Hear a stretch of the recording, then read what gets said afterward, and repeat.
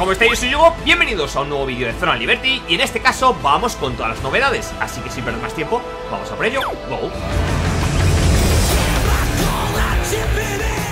Bueno gente, la verdad que había dejado un vídeo preparado para hoy, pero hace un par de días que se publicó la preview del director de Throne a Liberty y tenía que compartirlo con vosotros. Como es posible que mucha gente que me seguís por aquí en YouTube no os hayáis enterado, estaré de vacaciones hasta enero, por lo que este vídeo no estará editado como de costumbre. En cualquier caso, os dejaré a continuación el vídeo completo de presentación con los subtítulos en español y me gustaría, antes de nada, destacar ciertos puntos. Apuesta por una fórmula de MMO clásico, con un mundo completamente abierto, puntazo desde mi punto de vista, y totalmente masificado, donde podremos encontrar jugadores en todo momento realizando diferentes tipos de contenido.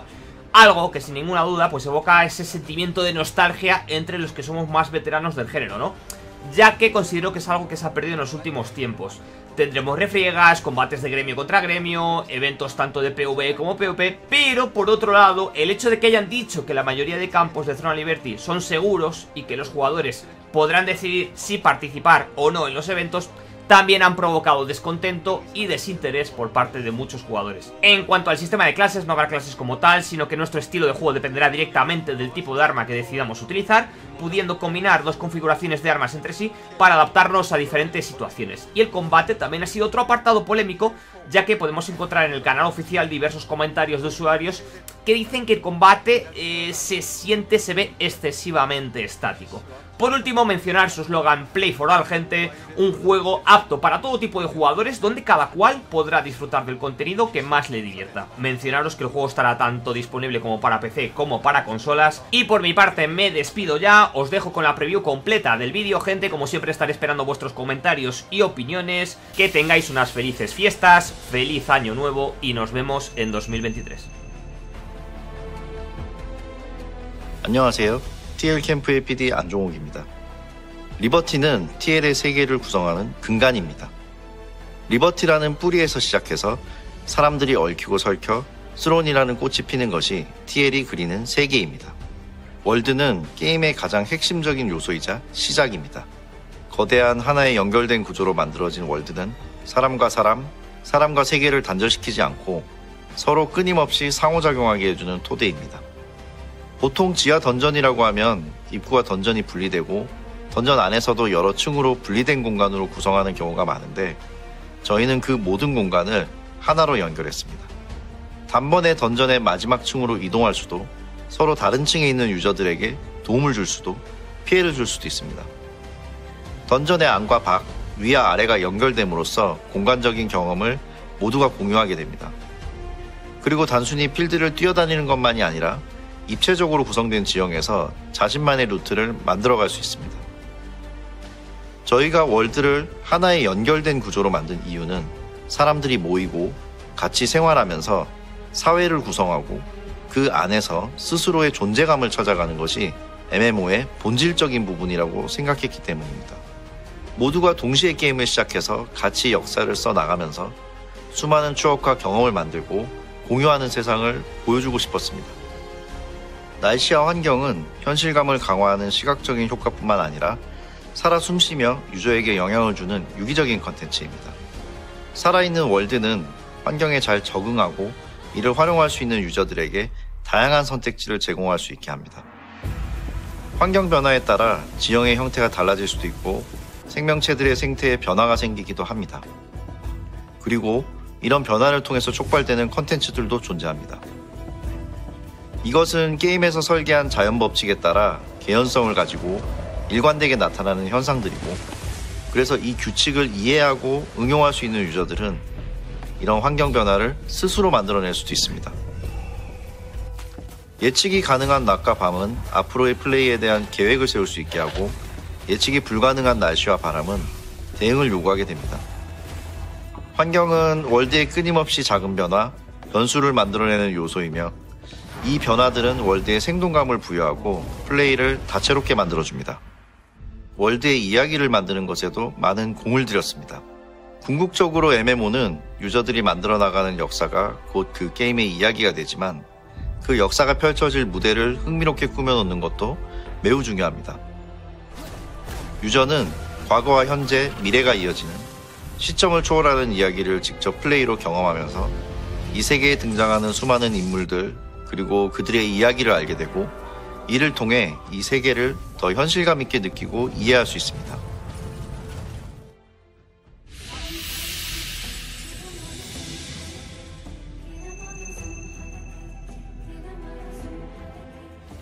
안녕하세요. TL 캠프의 게임 디자인 디렉터 이문섭입니다.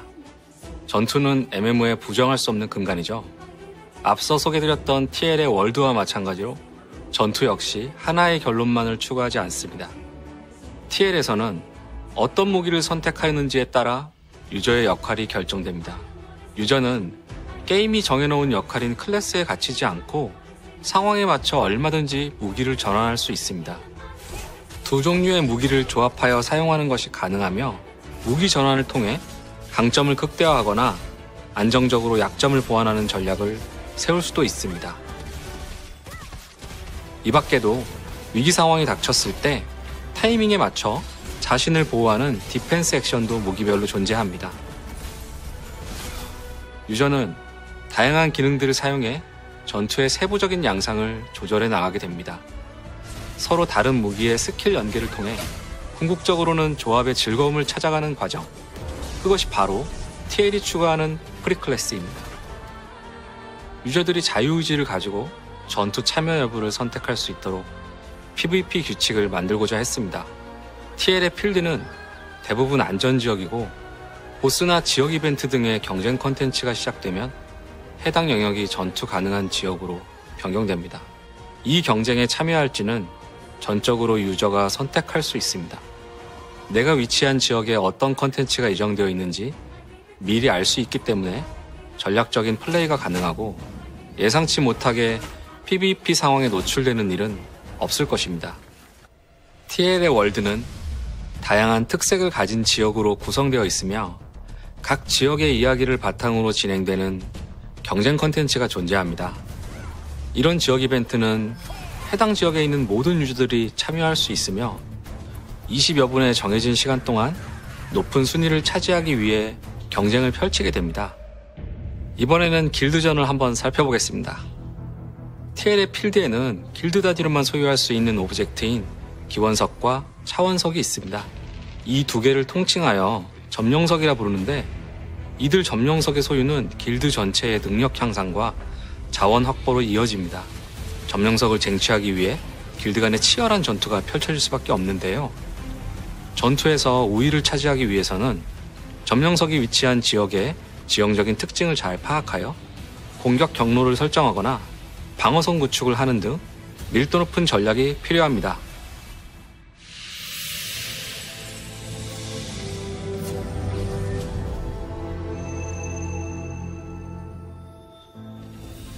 안녕하세요. TL 캠프 captain 최문영입니다.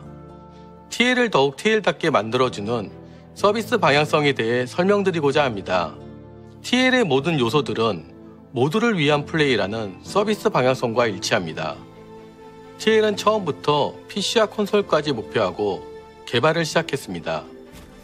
각 device에 맞는 전용 UI, UX가 제공되고 또 모바일에서도 스트리밍 플레이가 가능합니다.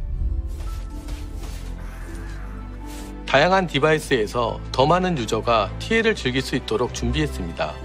그리고 world뿐만 아니라 캐릭터 디자인에도 글로벌 유저의 요구에 맞게 많은 노력을 하였습니다. 마을 주민 NPC의 표정과 같은 작은 부분까지도 세심히 표현하였고 사진을 이용하여 외형을 손쉽게 만들 수 있는 AI customizing 기능도 제공됩니다. 또한 플레이 중에도 다양한 스타일의 외형으로 변경이 가능합니다. 수많은 유저가 함께 즐기는 MMO를 목표로 개발된 TL은 최적화에도 만전의 노력을 기울이고 있습니다. 유저분들의 쾌적한 플레이가 가능하도록 힘쓰겠습니다. TL의 memorial은 유저들의 진행도에 맞춰 순차적으로 개방되는 다이나믹 컨텐츠입니다.